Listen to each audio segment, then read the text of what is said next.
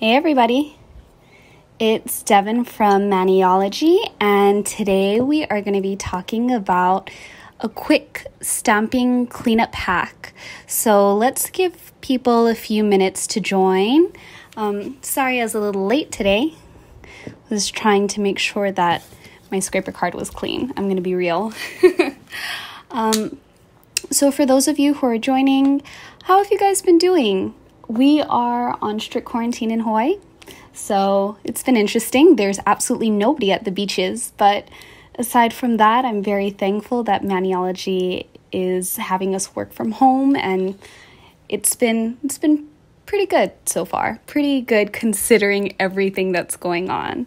So I hope you guys are doing well. Hey.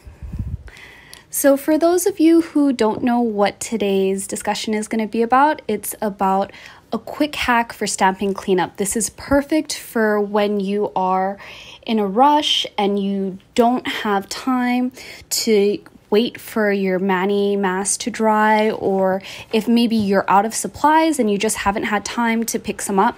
So, this is perfect for that. Um, also, you'll notice today I'm wearing a glove because honestly, I just haven't had time to do this hand. So I'm gonna I'm gonna hide it for you guys and we'll just focus on the hand I did do. So let's get started. This is actually going to be super super fast. I'm to turn the plate around to yeah. Sometimes I like to work with the design um, upside down because it's a little easier for me. This is just a personal preference. You don't have to do it this way. But oops, if you don't have um, any mani mask or cuticle tape and you're trying to figure out how am I going to do my manicure, then this is my favorite trick. So we kind of mentioned this last week in the live. Um, I kind of gave Tiana a little little little trick there so that way she could use that um, since she didn't have some of her supplies with her.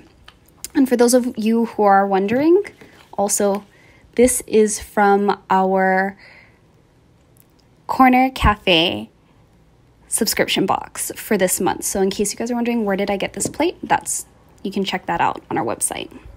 So, draw a U shape for your polish. This way you don't have to clean up the cuticle area. And make sure when you scrape, you scrape upwards. Whoops. Okay. Then you see this? It's a nice U shape that matches up. And I'm just going to try and stamp this on.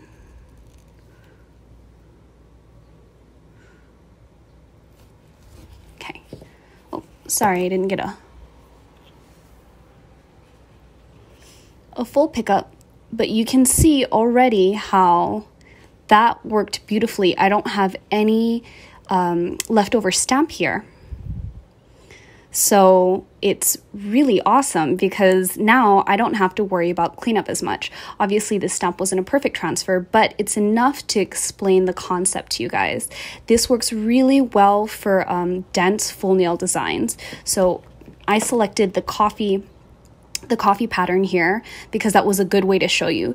With these kinds of designs, the trick can still work, but um, just for today's demonstration and like visibility purposes, I, I opted for something a bit more dense with print. So I'll show you guys again, kind of using a light color. I didn't want to use a dark color since today's base is actually just polish.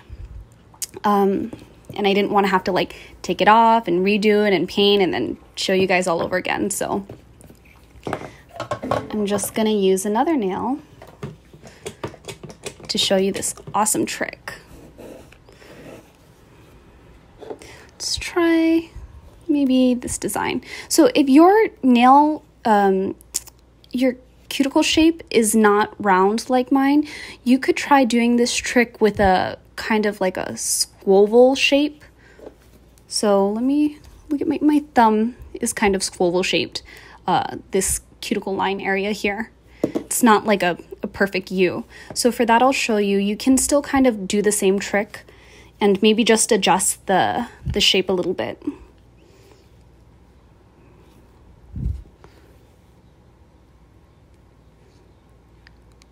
Since I know it's not going to be like a solid line, um, you can kind of see how I tapered the corners just a little bit whoops.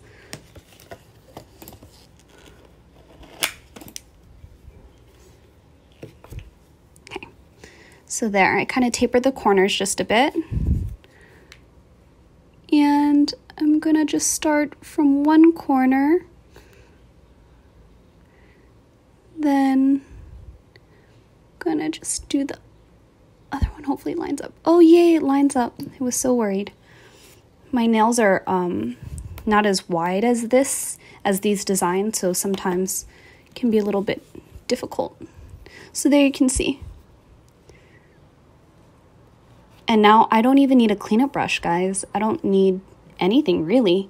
Um, so this works really, really well for stamping However, if you're doing something that has black or really dark colored stamp, I would recommend getting your Mani mask out or your cuticle tape if you've got it or whatever, you know, barriers you have because that would probably be something that I wouldn't want to take as much of a chance with because then that means that if for some reason anything ends up over here and I have to clean it up with a brush, it's just going to end up possibly staining around my finger, especially if your skin is dry around this area or you have like hard, rough parts of skin, um, dark polishes love to cling to dry, hardened skin.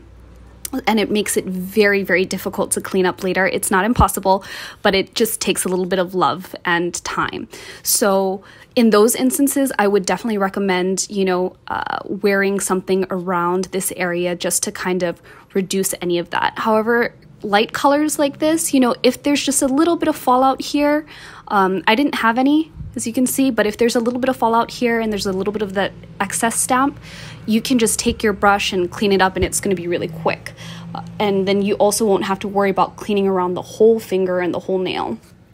So we can try again so that way those who maybe didn't get a chance to see it earlier can see it again. I'm just gonna use, actually, Maybe I'll try using this design because that looks pretty dense.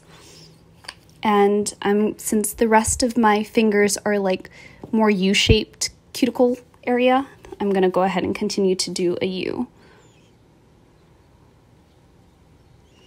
So you can adjust this for how wide your nail is, how long it is. See, since my nail is a little bit skinnier, I kind of tried to do it a little thinner on the sides. Okay, there we go.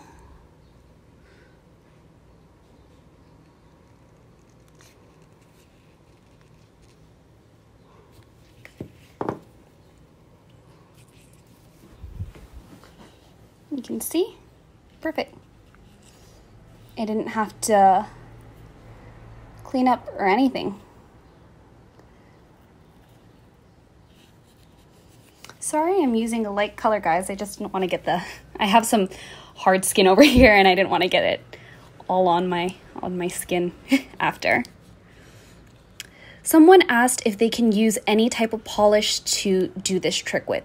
You can try using other regular polishes. However, stamping polish is specifically pigmented um, to be a lot more bold with the color. So regular polishes, since they're used to they're used as a base color, and usually the uh, the normal recommended process is to put two coats of color. Um, it's not very opaque with one coat of stamping, um, one coat while using stamping. Does that make sense? So, for example, if I tried to do this design with, let me see, I think I had a polish right around here. Obviously, this is a sheer polish. But if I had tried to use like one of these kinds of types of polishes, um, not maybe this color, but maybe even if it was a different color, it wouldn't be as opaque as a stamping polish.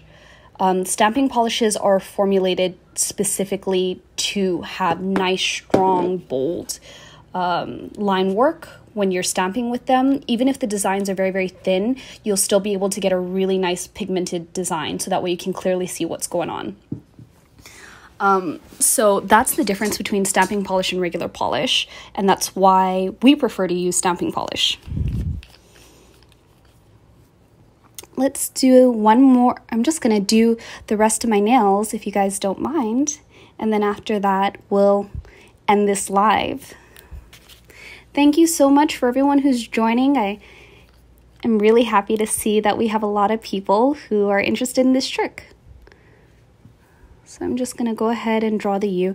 Kind of drew a wide U. Maybe I'm not going to do that one actually. Because these two nails, especially my pinky nail, is really um, little. so I'm just going to skip over that and just use this side of the plate.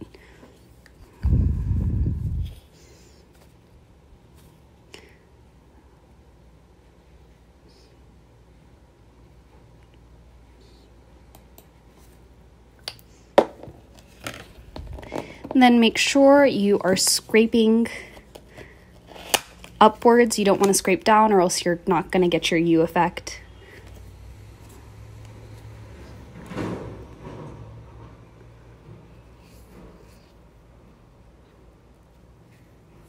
Whoops. Got a little...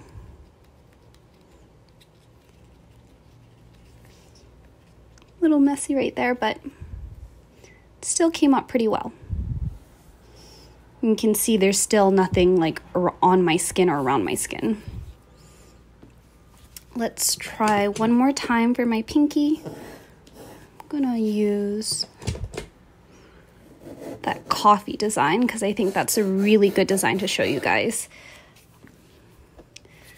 the benefits of using this trick.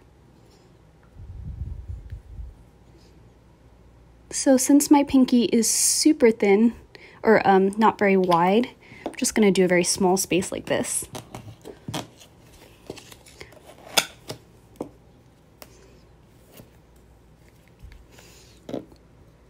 Well, aw, shoot. was a little bit too early with that. Dang it. Well, at least you guys got to see these nails. They did all pretty well. You can see there's no no cleanup needed anywhere.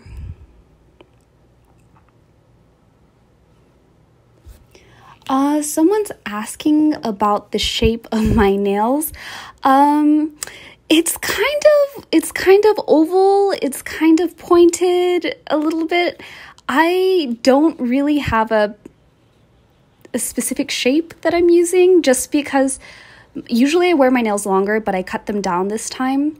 And then on top of that, I just try to match what is going on over here. Some people's nails have this is a really in-depth topic. um, let's just I'm trying to think of ways to shorten this. Okay, so because I have a U-shaped cuticle, I think that it matches that my nail is more rounded at the tip. Um, also, I have really short nail beds. My nail bed is actually only about this big. If I had square on my nails, it would make my nails look really, really, really short and stubby. Um, people who do want to rock their nails like that, that's totally fine. Everyone has their own personal preferences and reasons why. I just personally uh, want to lengthen my fingers. So in order to do that, I have to do this shape to help make my fingers look a little longer because I actually have very, very small hands and short fingers. So um, yeah, that's just my personal preference. Uh, but yeah, it's kind of like a rounded oval thing going on. It's not fully round and it's not fully pointed. it's kind of a in the middle. Um, even my almond it's not like a usually when they say almond it's like you can put the almond on your nail and it'll literally like match up but mine's a little bit rounder than that again short short nail problems right now so Thank you so much for joining us. And if you guys have any more questions and I wasn't able to get to it in this live, we will be going back in the comment section and answering those questions a little later. So please make sure that if you have any kind of things that maybe we weren't able to address, uh, please type them down in the comment section below. And I hope you guys have an amazing day. I'm really happy I got to share this trick with you. This is a really fun one. And um, I'll see you guys later. everyone stay again happy, healthy, and safe. Bye.